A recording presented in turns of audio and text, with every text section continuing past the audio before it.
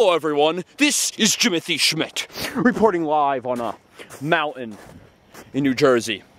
If you can look around, you'll notice that global warming is not happening. You see, this right here is snow, and snow only forms when it's cold, which means it's not very warm right now. If you look very carefully, you'll notice that I am shaking in these boots that I'm wearing. That's because it's very cold you could actually almost see my breath. If it was a little bit colder, you would see my breath.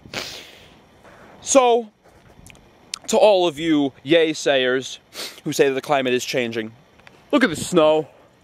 Look, look, look, look, like my, my fingertips are a little bit cold, kind of turning red a little bit. That wouldn't be happening if global warming was happening. In fact, if you'll look, you'll notice the leading experts on the subject, talking about companies like BP, ExxonMobil, they all say that global warming is not happening. Are you going to question them? They're spending millions of dollars to broadcast their message.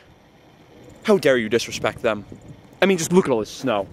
You'll see that the snow is kind of like melted and then frozen again, which means it's, it's obviously very cold. I mean, that, that, that wouldn't happen if the globe was getting getting warmer. That that that just doesn't make sense. Look, look, look at all these snowy towns. You'll you'll know snow is everywhere. Snow is everywhere. It, it, it, it the, the, the, weather's not getting warmer. And to, to, to really bring my point home to understand why I'm saying these things. If you look out at the great city of New York,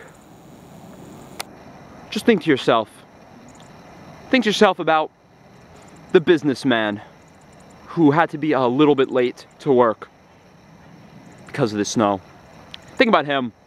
Think about all those Wall Street investors. Think about how much it inconveniences them to get a little bit of snow on their suit. Do you know how expensive those suits are? Do you ever stop to think that maybe some of those people would think that it would snow less? And you have let them down? You have let all of us down? How dare you?